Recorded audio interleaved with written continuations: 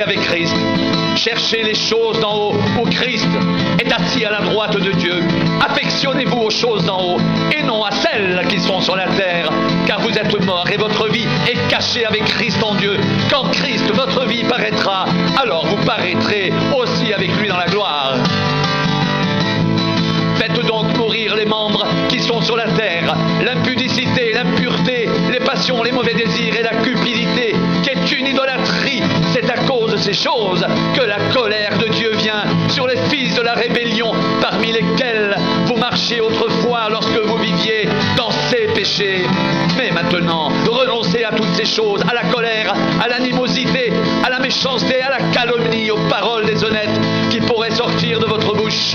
Ne mentez pas les uns aux autres, vous étant dépouillés du vieil homme et de ses œuvres, ayant revêtu l'homme nouveau qui se renouvelle dans la selon l'image de celui qui l'a créé. Il n'y a ici ni grec ni juif, ni circoncis, ni incirconcis, ni barbare, ni scythe, ni esclave, ni libre, mais Christ est tout en tous. Ainsi donc, comme des élus de Dieu saints et bien-aimés, revêtez-vous d'entrailles de miséricorde, de bonté, d'humilité, de douceur, de patience. Sujet de se plaindre de l'autre, pardonnez-vous réciproquement, de même que Christ vous a pardonné. Pardonnez-vous aussi, mais par-dessus toutes ces choses, revêtez-vous de la charité, qui est le lien de la perfection, et que la paix de Christ à laquelle vous avez été appelés pour former un seul corps règne dans vos cœurs, et soyez reconnaissants. Que la parole de Christ habite parmi vous abondamment.